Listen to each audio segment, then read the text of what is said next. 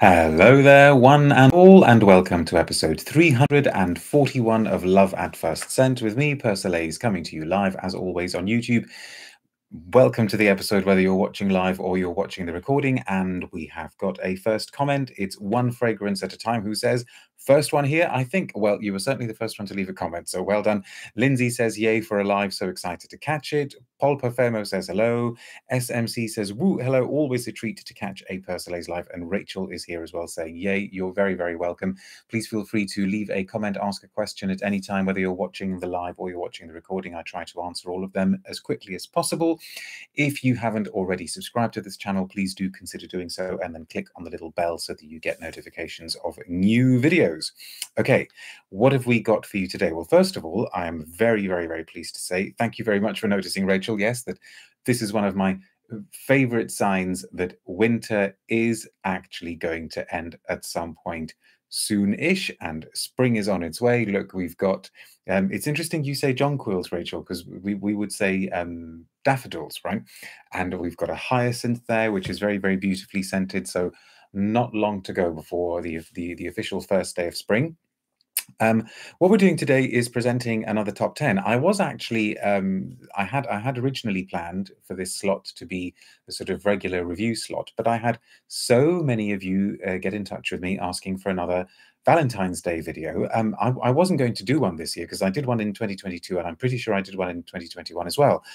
But tons and tons of requests from you. Um, and I thought, gosh, you know, you, you old romantics, you obviously like to, to do the whole Valentine's Day perfume thing. Um, and why not? But we, we need to give it a bit of a theme, okay? So I thought that the theme for this year would be to try to come up with some scents that convey a sense of old world glamour, a sense of old world sophistication. Well, actually, no, more glamour than sophistication. But the point is that these can't be old scents. Okay, so the challenge I set myself for this theme was that they all have to be relatively modern releases, and I kind of had this cutoff point of no scents that are older than um, ten years. And and actually, I think there is only one on here. Looking at the list, that is uh, 10 years old. One, I suppose some people could argue that one is 11 years old, but the version that I've got for you is is is less than 10 years old, and most of them are quite a bit more recent than that. So that that's the that's the that's the sort of framework. So relatively recent, modern sense that might be suitable uh, for Valentine's Day if you want to capture a sense or convey a sense or project a sense of old school, old world glamour. And um, if you have got any sense that you would recommend that fit that bill, so remember they mustn't be too old, but they kind of need to feel like they have a sort of retro vintage feel. I would be very interested to know what they are. What are people saying so far? SMC says it's far too cold in New York for spring to be here yet. The weather here has been warming up ever so slightly, but I think a cold spell is on the way again.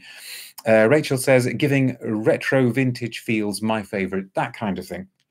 One Fragrance at a Time says, Nuit Noor by Elie Saab. Okay, is sort of old world glam to me. Can't wait to see your picks. I don't know that one. I wonder if it's one of those um, exclusive Elie Saabs that I never really got a chance to try. Uh, okay, I, I, I, think we need to get going really, and I, and and we ought to start with the one that perhaps best sums up or encapsulates what it was that I was trying to capture, and it also happens to be the oldest one. So so uh, two good reasons to, to, to start with this one. Um, Yanish says, hello all, I, or, or, is it Janice? Says, I can't believe I'm watching live. Well, you are watching live, I can assure you. Um, Iris Poudre comes to mind for retro glamour for me, says SMC, that kind of thing. Okay, but but Iris Poudre isn't, isn't on here. So from 2013, composed by Frank Voelkl, this is um, Ylang 49 from Le Labo. Okay, uh, I've talked about this one on this channel before. I reviewed it when it came out.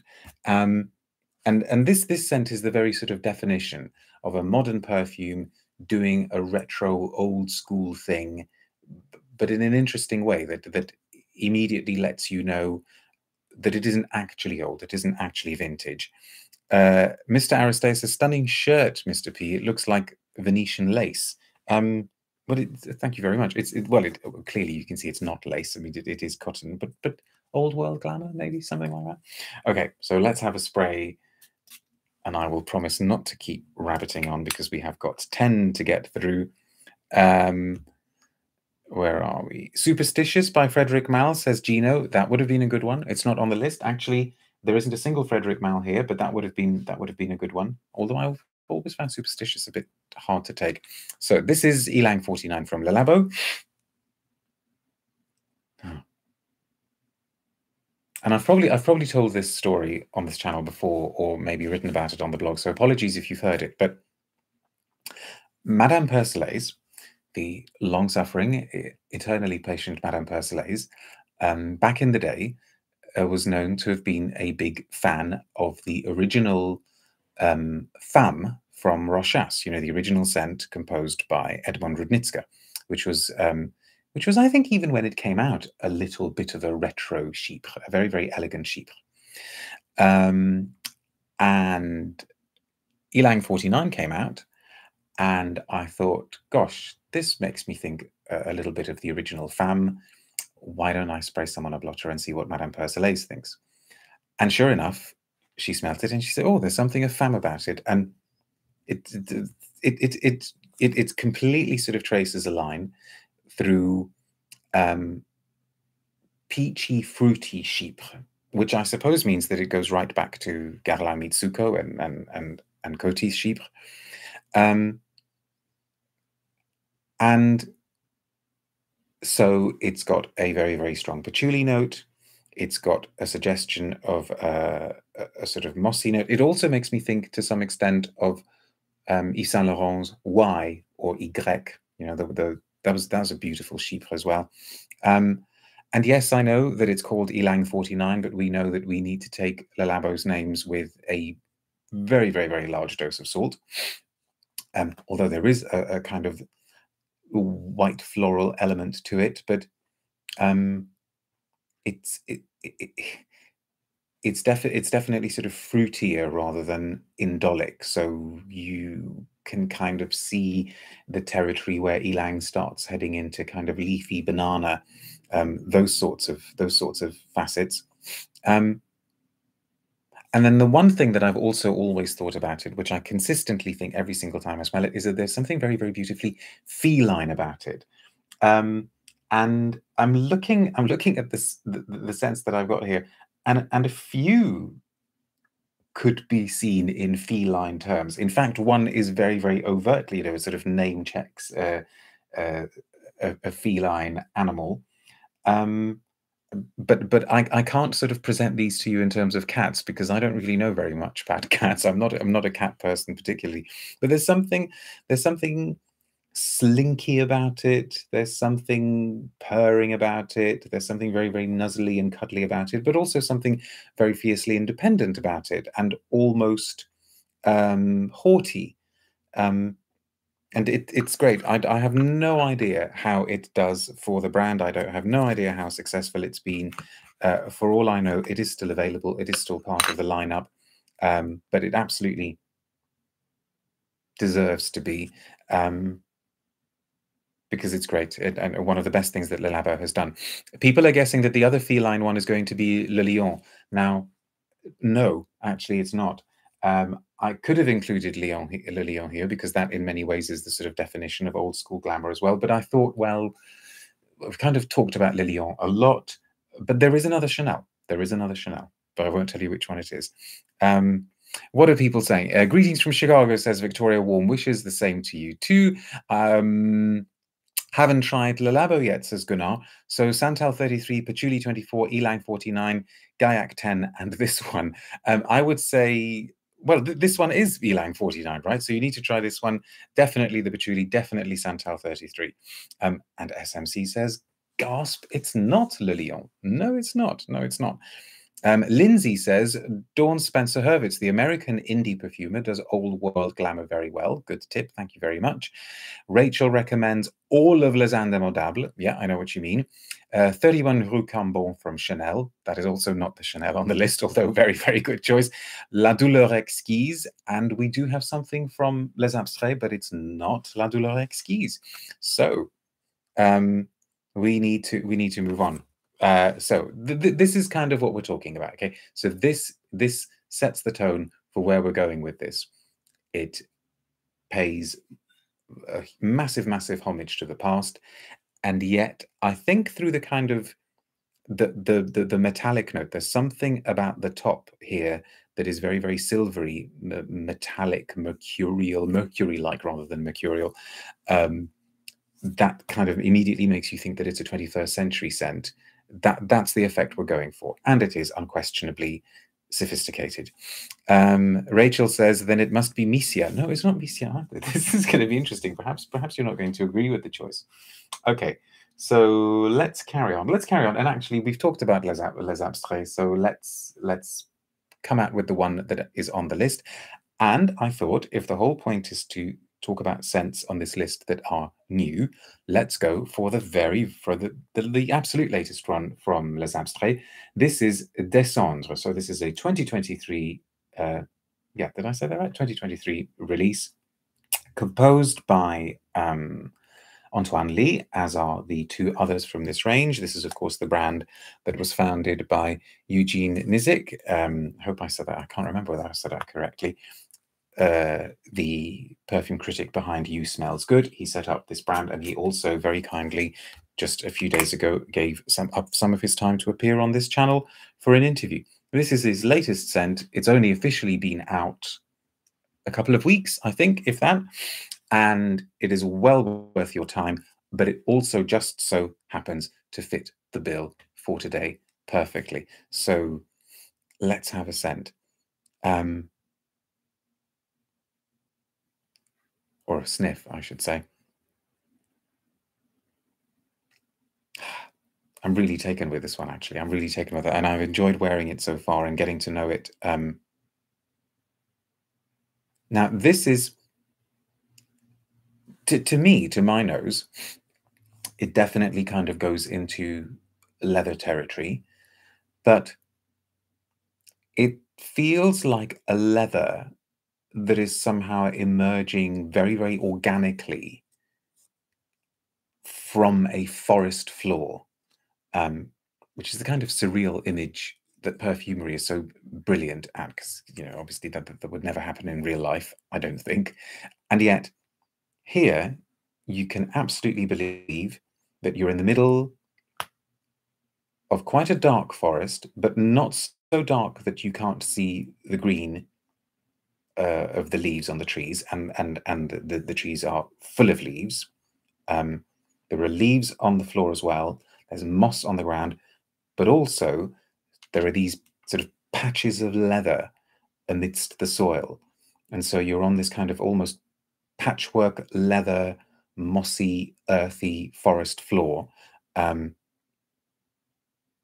and Gino's put it well, actually. That's a very good description. I just see, saw a description saying, I recently sampled this. I get some green figgy leaves with some ashtray, green but also ashy. It's it, it's, it's definitely sooty as well, isn't it?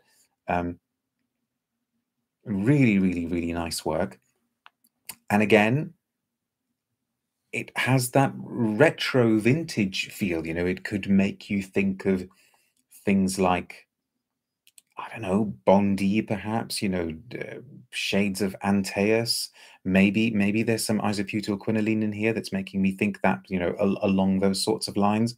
Um, it's it's it's assertive, it's bold, it's uncompromising, and yet it's also got soul, and there is something very, very, very impassioned about it, which which makes it a really, really great um, companion to the Le Labo. Rachel says the green and leathery aspects of Des Cendres are gorgeous. The cinder ash smoke is very retro.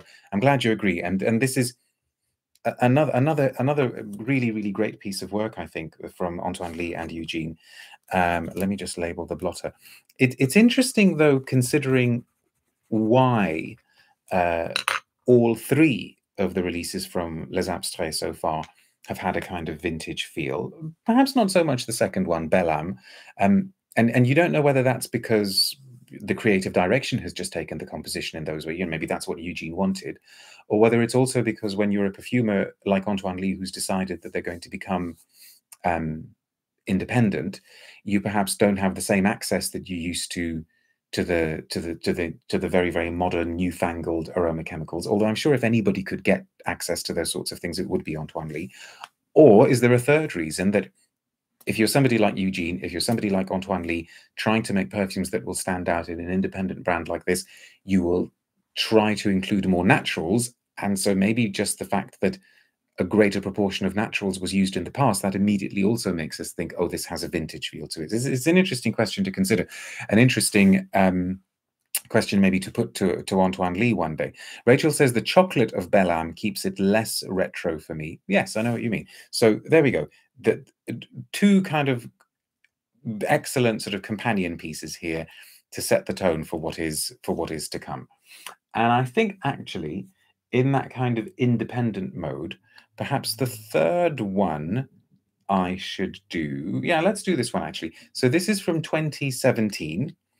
Um, oh, Pradeep says Eugene self-admittedly loves Grand Marcel's smells. smells. Well, there's nothing wrong with Grand Marcel's smells. So 2017 from as independent a perfume house as you could possibly get. This is from Papillon, okay, the the British English perfume house founded by uh, Liz Moores. She is also the perfumer. All of them have so far been made by Liz Moores herself. This is Dryad, okay? Which, again, I think is one of the best things that uh, she has done. So this is like one of the best Le Labos. I'm not going to say this is one of the best Les Abstraits because there are only three so far anyway. Um, and gosh, that Des Cendres blotter is really, really strong. So let's have a spray of Dryad. Dryad is so strong, says DJ. Um, uh, and Natalia says Dryad is gorgeous, right? I'm, I'm well, you know, strong and gorgeous um, are not mutually exclusive, right? And this this was one of the first ones that came to mind. Okay, when I thought of putting this list together, because this this is this is old world, old school glamour, but done in in a modern way. Let's have a smell. Oh, yeah. See, this is interesting. This is interesting because, again, it's green, but it's very, very, very fuzzy, mossy, and it's got that kind of stewed vegetable feel to it. Oh, Gunnar says you've used a lot of it yes, I kind of have, but I also got this bottle not entirely full. Okay, but but, but yes, I mean it, it is it is it is definitely a scent to be used. it's great, um, and again, something glinting, metallic. Um, I love I love as well how each of these three in their own way are are abstract. And again, we've talked about this a lot on the channel, but I suppose one of the sort of defining characteristics of more old world, old school glamour is this sense of abstraction. Um, we, have said a few times that more modern scents tend to be uh, much more easily legible, much more figurative, much more obvious, um, you know, highlighting two or three prominent notes very, very, very overtly so that they can be easily identified whereas the past was much more about um, keeping things perhaps a little bit more opaque, more abstract, not exactly obfuscating things, uh, but but but I don't think wearers were so concerned about wanting to identify specific notes. It was much more about the sort of overall symphonic effect. Um, Rachel says Dryad is gorgeous. Uh, her work does have a bit of vintage Guerlain vanilla. Yes, yeah, absolutely would go along with that. And there is there is definitely, you know how um, Vol de Nuit with with its with its galbanum note starts heading into that kind of almost that sort of overstewed celery type feel, and I mean that in the nicest possible way. Um, Dryad very very much does that sort of thing too, um, and and and also smelling it now, I am reminded of um, uh, Dzongkha. Is it Jonka Zonka from uh, from L'Artisan Parfumeur, the, the Bertrand Duchaufour scent, which, which also has this fuzzy, slightly sort of un, you know, five o'clock shadow type quality to it.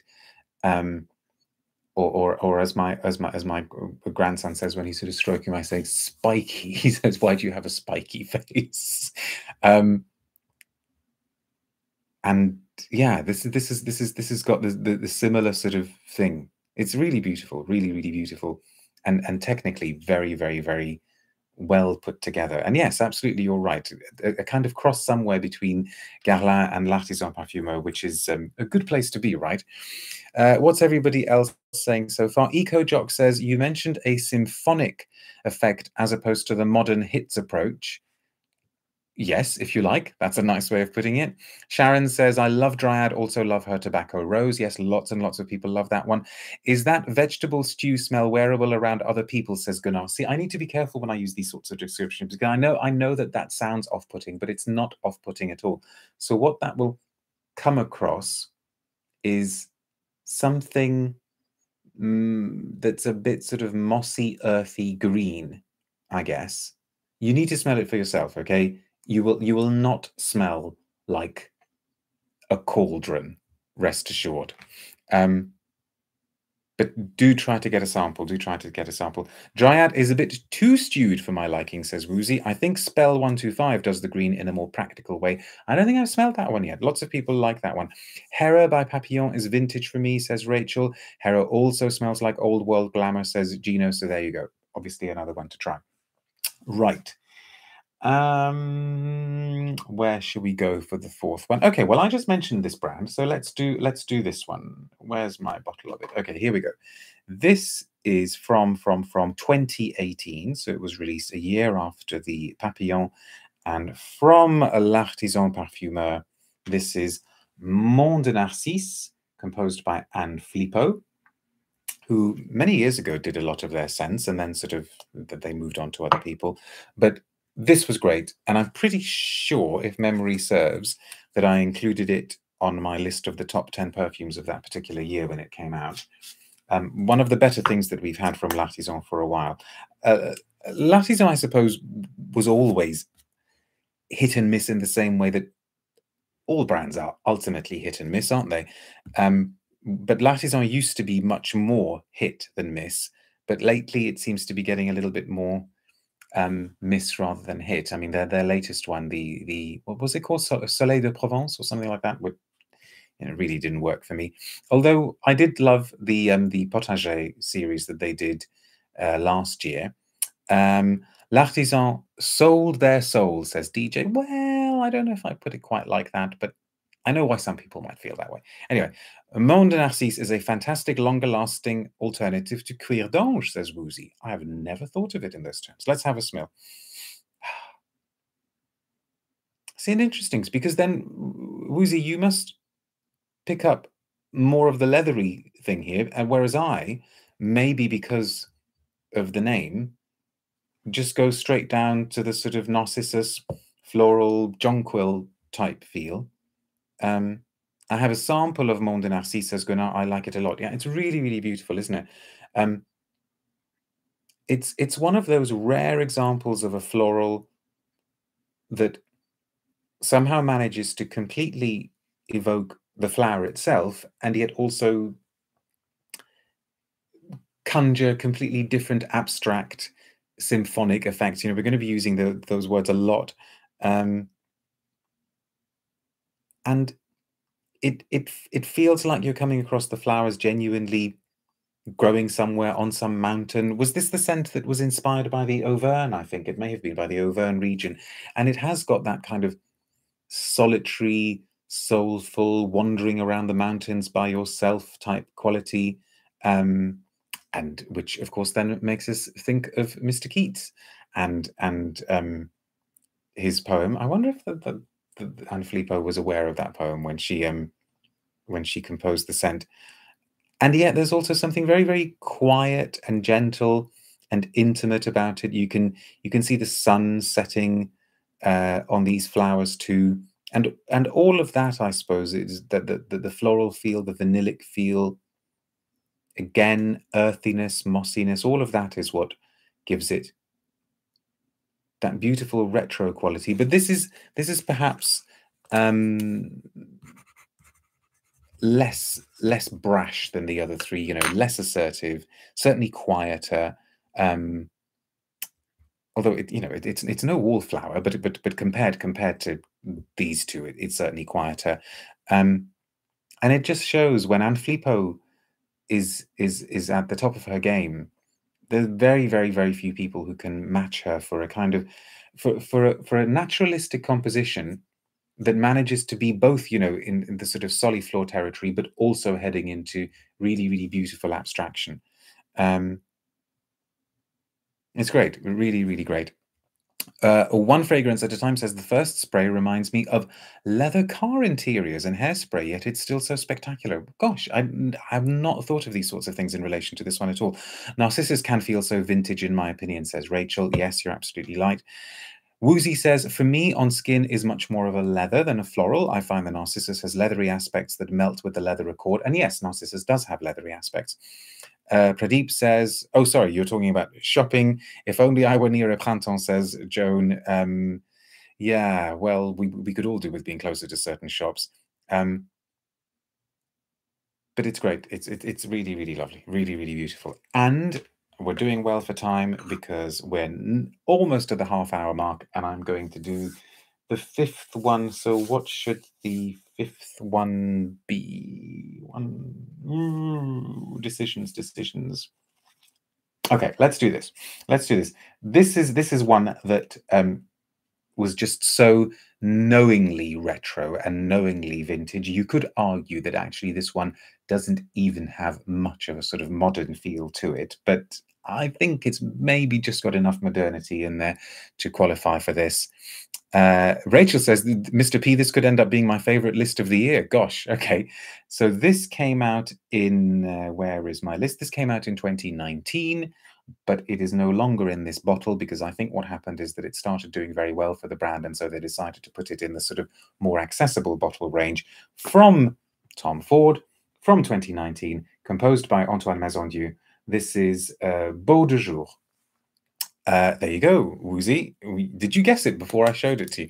Um, and this is, um, as as you will know, this is basically um, an, an an old school, out and out old school fougère, um, but it's done really well, uh, wonderfully kind of tongue in cheek. Let's let's have a smell. Let's have a smell.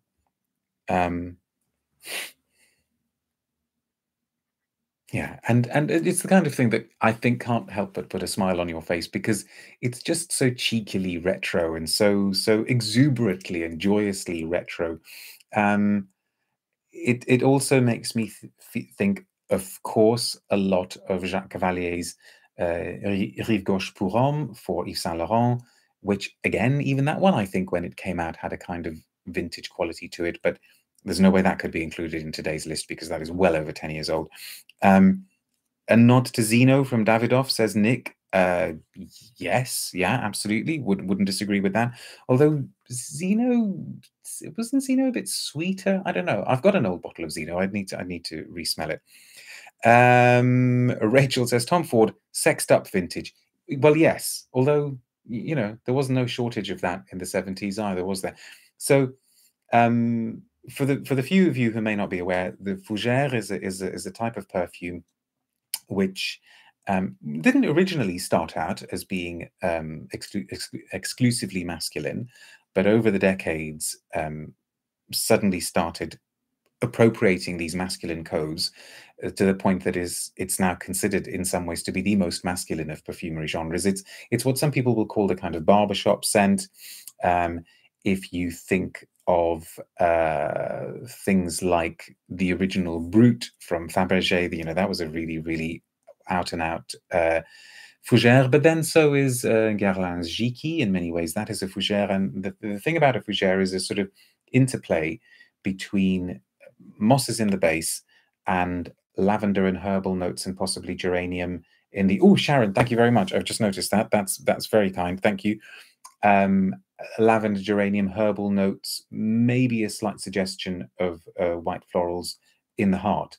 And so they create this, when it's done well, they create this really, really beautiful, seamless whole that somehow tends to that somehow manages to convey both strength and tenderness. Now, unfortunately, a lot of the time fougères are done really, really poorly, and a lot of modern scents out there are released as fougères, and they're just crass aberrations. They are horrible because they tend to be really, really scratchy and and abrasive with their woods. Um, and and and and so I should have said, you know, a good dose of bergamot citrus at the top as well. Um, but when they're done well, when they're done like Jicky, when they're done like uh, Géranium pour Monsieur from Frédéric Malle, then they are just the quintessence of sophistication. Um, somebody's saying anything's better than Rive Gauche pour Homme. Do you not like it? I love Rive Gauche pour Homme. Um, um, and this one very, very much goes into the past. Um, it, it's the, the the the patchouli is really strong. The the lavender is quite quite sort of strident. Um, the coumarin note, I should have said coumarin as well, obviously tonka bean. I'm forgetting all of my perfume lore today, but coumarin is very, very important in the construction of fougere as well. It's a substance that occurs naturally in tonka beans and it gives fougères the, that kind of distinctive hay-like tobacco quality. Um, and and and this one is great fun. It's. It's great fun. It's it's a kind of Robert Redford, um, 21st century style type scent, and and um, I'm not surprised that it's done well for the brand because um, because this is the kind of thing that Tom Ford does best. You know, old fashioned but with enough twists to to to bring it up to date. Okay, so we have done five, and we have just gone. Um, over the uh, half hour mark, which is a perfect time for me to say that you are watching episode 341 gosh, of Love at First Scent with me, Persolaise, and we're doing one of our themed lists. This one is for Valentine's Day 2023, and the idea behind this list is to present to you top 10 perfume recommendations that obviously will work for Valentine's Day, but will also convey a sense of old world or old school glamour. The caveat being, or the the, the um, qualification being, that they all themselves have to be relatively modern perfumes. So there is nothing on here that is older than 10 years old. I should also say, please do subscribe to my channel. If you would like to find out how you can support my work, you should find a link to my Ko-fi page below. And also, I am going to, sorry, this is a pain, but I'm going to have to start getting better at doing this. I meant to say to you, if you're enjoying the video, please, please like it. Press the like button because apparently and I'm so rubbish at self promotion, so apologies, but apparently that is the thing that makes YouTube push the video to other people so that other people get the chance to see it and experience these wonderful perfumes as well. Here endeth the promotion. Eco EcoJock says Tom Ford mentioned that the 70s was a remix of the 30s. Yeah, he's probably right. And he loved the 70s, hence all the browns, oranges, and harvest golds in his Gucci collection from the late 90s. Good point. Rachel says Sailors by the Zoo is a great take on Declaration, which is a great take on Eau d'Hermès. Yeah, you're absolutely right. Although, which one came first? Oh, no, Eau d'Hermès. Yeah, okay. Yes, yes, yes. Yeah, yeah, you're right. You're right. You're right. Um, have you smelled? Oh, Gunnar took out their. But yes, the answer to your question was yes. I, I, I had smelled that one. Right. Okay. What should we do next? Let's go let's go actually for another one that's in a similar vein to this, but rather than channeling 70s, it kind of maybe channels the 80s. And this is from this is from 2020, although it's only this particular version that came out in 2020. The first version of this perfume came out in 2016. So here's the revelation or the reveal. So from Marc Antoine Barrois, this is the extrait version of B683. So the first version, which I guess was an EDP, came out in 2016, and then in 2020 he gave us the extrait. This is composed by Quentin Bisch, as are all the scents from the uh, collection so far.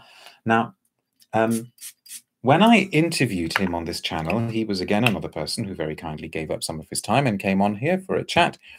I asked him, or I I, I tried to ask him, um, whether through all of his sense so far, he's kind of harking back to a sort of 1980s sense of masculinity because i think you you can sort of see that in all of the perfumes so far but especially so in in the B683 and and the Extrait.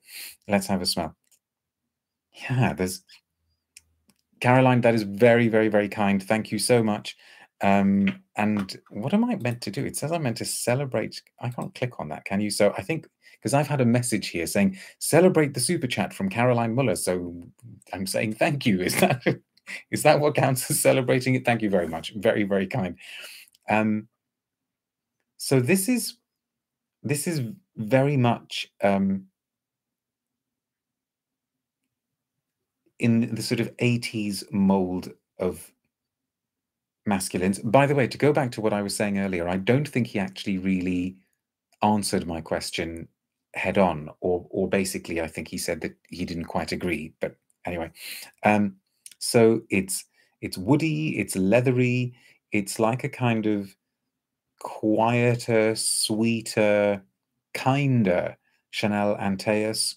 The Extrait apparently has uh, an addition of a kind of um, oud note, which is, uh, I suppose, what makes it feel more 21st century rather than 1980s. Um, Woozy, I've just seen your comment. It's made it's made me chuckle, but um, I'm I'm not, not, not going to read it. And it's, yeah, it's it's it's almost it's almost like you know the, the, the yuppies of the 80s or the or the the Wall Street heavies of the 80s. The Wall Street heavies of the 80s have have developed a bit of a soul in this scent. So they've got they've got the, the, you know the braces, the suspenders, they've got the the shoulder pads, they've got the slicked back hair. Of course, I'm just picturing Michael Douglas here, um, but maybe maybe they're nicer. So maybe they're like the the Wall Street heavies who've decided to go and work for NGOs or somewhere in their in their older age. Um, and somebody mentioned Akigalawood uh, the Givaudan material that is so beloved by Quentin Bisch, the perfumer. There is definitely a dose of Akigalawood in here as well, um, but but not overdone, not overdone. So this is this the, these two kind of go together, I suppose, in the sense of um, trying to evoke um, bygone masculinity. Um, yeah, but and and it works really really well on skill, skin. It works extremely well on skin. Um, okay, we're down to the final four. So let's go. We let's go for one another one also done by Monsieur Antoine Lie Uh, this is from 2016 from the brand set up by another perfume critic, another perfume writer, Barbara Herman's brand. She's also been on this channel. So this is from her brand Eris. This is called Night Flower, like I said, composed by Antoine Lie. Um, and I, adore this one, uh, one of one of my favorites from hers. Um, and this, I suppose, is like an old world, old school, um, warm amber scent.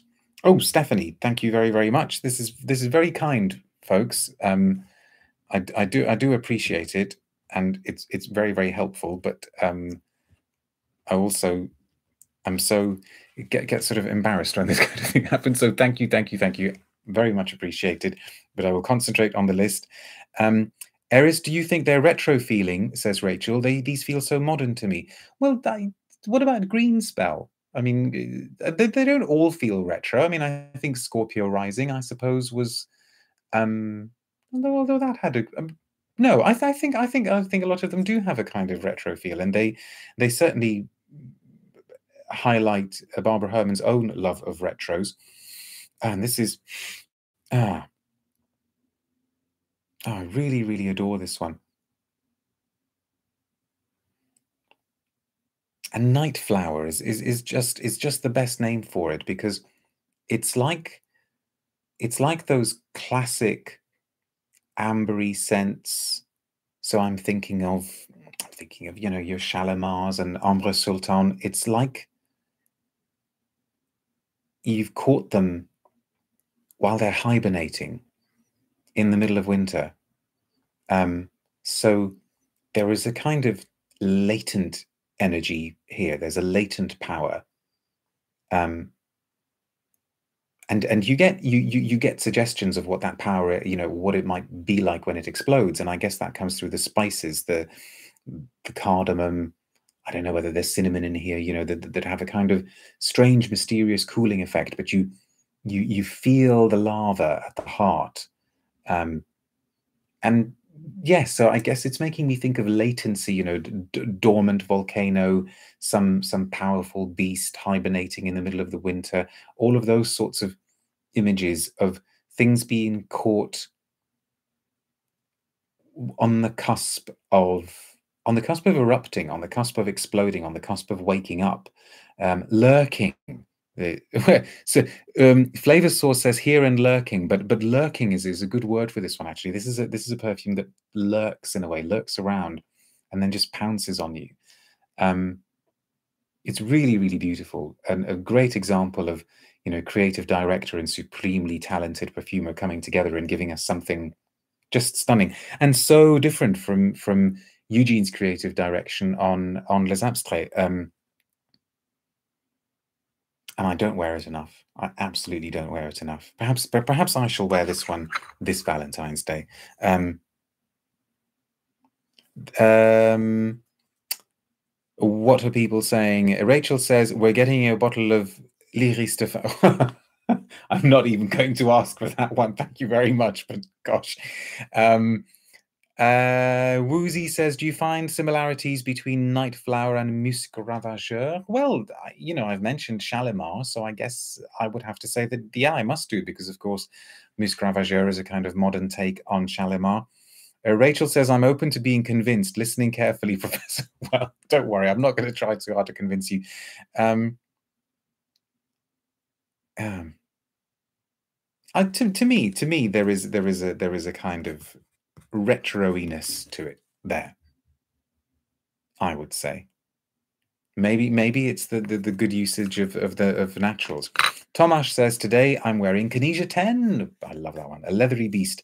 And I do not think Percy would give it a thought and include it in his ongoing top 10 as it might bring one's relationship to a bit to what do you mean? No, it, it can't be in here because Knize 10 is you know it's old itself. It is it is it is a vintage scent, but I love love love Knize 10. Absolutely one of the ones that I never ever want to be without a bottle of. It's just fantastic. Um, right, I'm just trying to think of which one to end on. I think maybe I'll end on the Chanel just to keep the suspense going because nobody's guessed yet. But let's do the feline one because I told you a feline one was coming and somebody did guess this one. So this is from 2014 the original EDP of Cartier La Panthère, composed by uh, Mathilde Laurent. Um, I think maybe uh, this, this turned out to be quite polarizing at the time.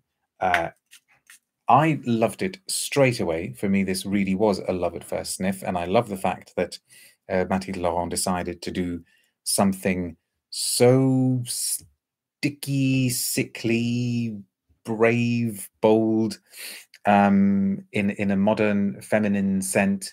And I must confess, I did think that maybe it wouldn't last terribly long and that it would maybe die a bit of a quiet death, but it's still around. And I think it was a couple of years ago that uh, Cartier gave us a parfum version. They'd also done an extrait. The extrait was something else that was beautiful, but but it, it it's kept going. Oh, better third. Thank you very very much indeed. This is really kind, people. I really appreciate it. Um, the current parfum is juvenile, in my opinion, says DJ. Hang on, I've lost the thread. Do you mean the Cartier? Yeah, I, I, think if you're talking about the one that is most recent and that they call the parfum, I'm not crazy about that one. I love the EDP. I loved the extrait. And I'm pretty sure there was an EDT, which I think was okay as well. But anyway, let's have a smell. So this is, this is a gardenia. And of course, um, very, very few flowers are as vintage and retro and old world glamour as gardenia these days.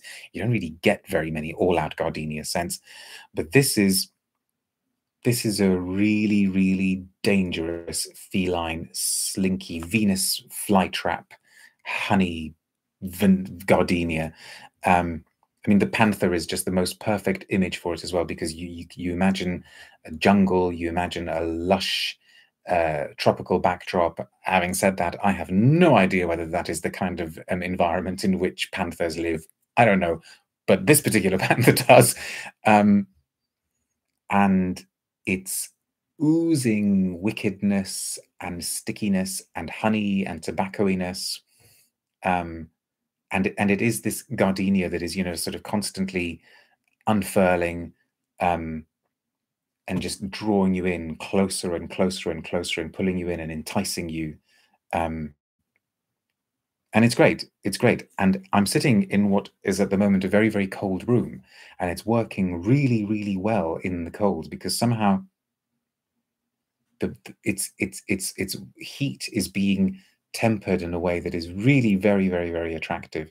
Um, I remember when it came out, um, asking Mathilde Laurent if she feels that you can tell whether a perfume has been made by a man or a woman or whether it really matters.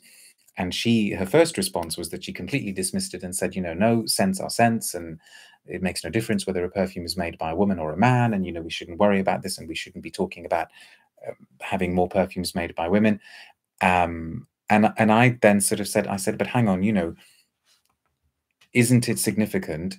This is what I said to her that that that she had chosen this to be uh, Cartier's next big sort of mainline feminine scent, and that she, as a woman, was making a statement that this is how she wanted femininity to be represented in the in the in the early part of the 21st century. And then she sort of smiled and said that maybe I had a point because I pointed out that I didn't think that very many men would um, go for this as a kind of expression of femininity. And I think I think there must be something in there. I think there must be something in there about um, um, the the sex of the person that's that's composing the perfume. Um, Dimitri says, My two favorite flowers in perfumes are carnation and narcissus. You can guess why. Uh, Gucci Rush was a great gardenia scent, says Eco Jock. Musk in Heaven says, Recently got a 4 mil decant of Iris de Fath and got Smoke by Akro for less price than the 4 mil decant. Well, yeah. uh, now should find something for the partner too for Valentine's.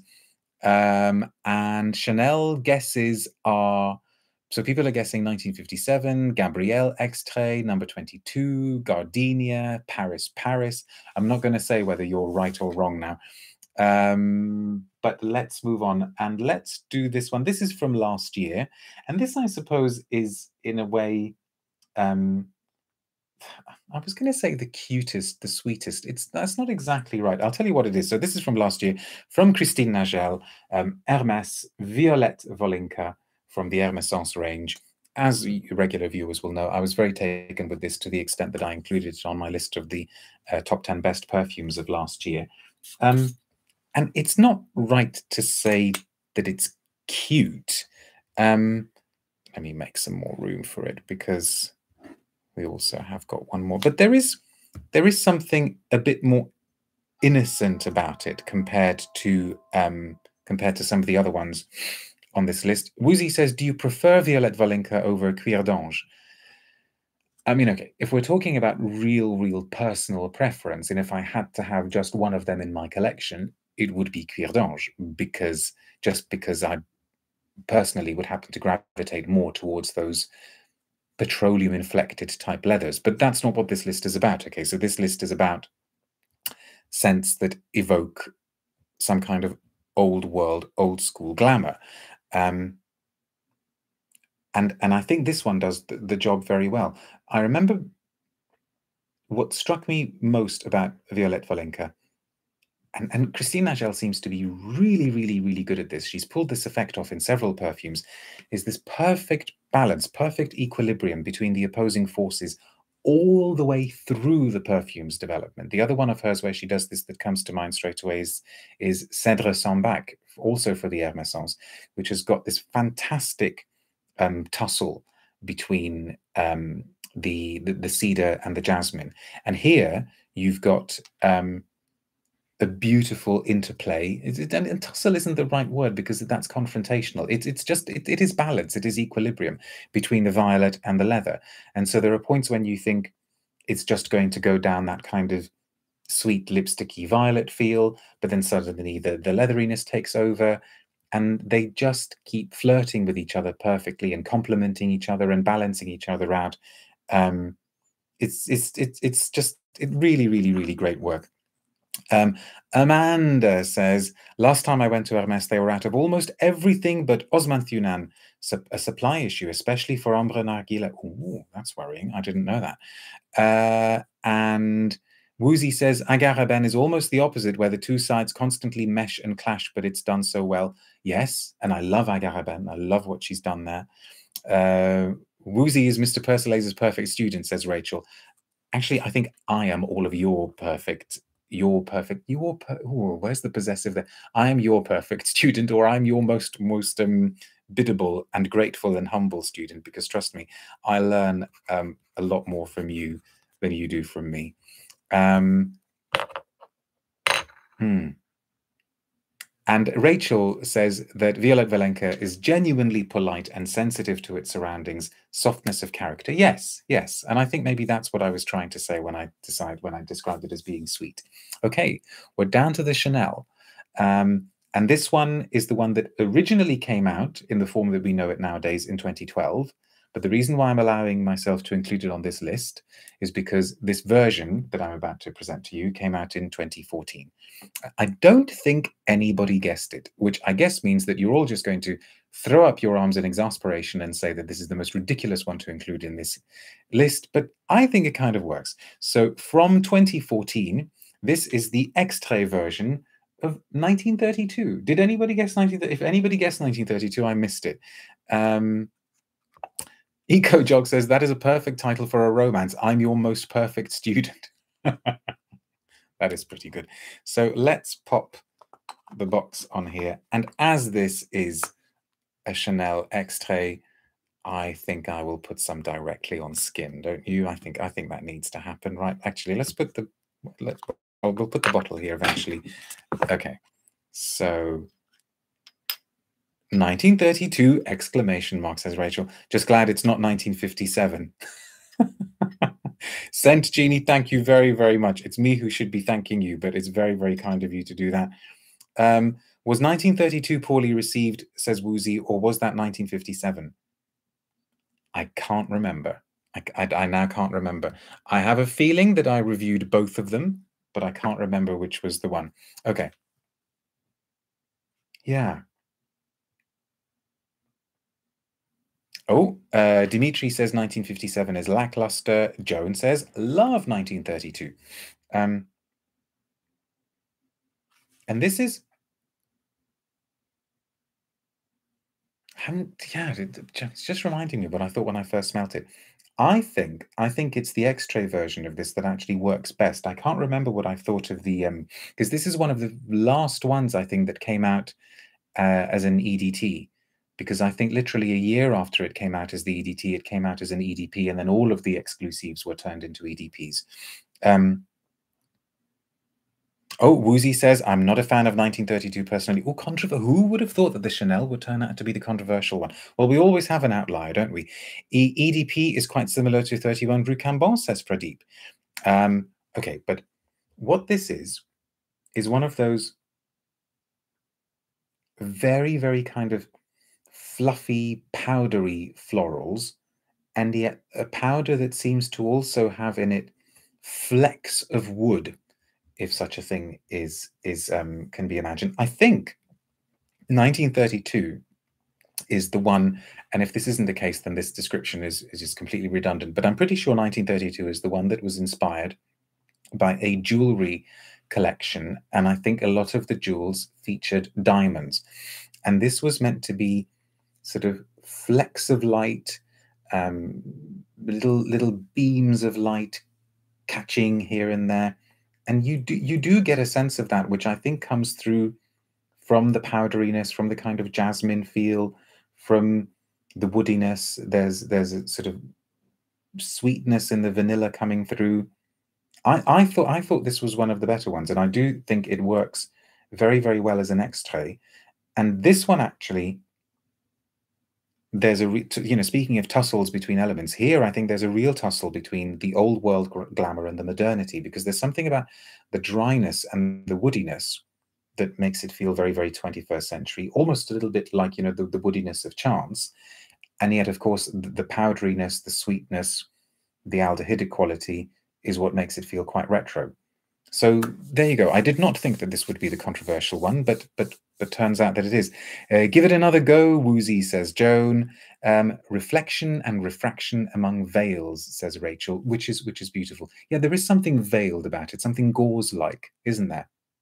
Seeing things through through semi-transparent surfaces. Hmm. It's one of the only powdery fragrances I enjoy, says Rachel. Gosh, now that's quite a statement. And we also had a very strong statement earlier from somebody saying that they didn't like it. So who knew that this was a bit of a polarizing Chanel? I certainly did not. And I've just seen the clock ticking and realized that I've already managed to go on and on like this for 55 minutes, which I think means we bring this video to a close. So thank you very much for watching. Thank you very much for all of the suggestions. Thank you very much for the support to everybody. That's really, really kind and completely unexpected, but always, always very appreciated uh, and very, very welcome. And I promise, promise, promise that uh, the, the, next video we do, I don't know exactly when it's going to be then, will be one where we actually talk properly about new releases because I have had a few samples of new and newish things sent my way that I need to share with you. Um, but let's keep let's keep the romance and the love and the passion burning on this channel. Thank you very much for persuading me to do another valentine's day video. Perhaps we just need to do it as an annual thing actually. So until next time be good and i will see you soon. Take care now. Bye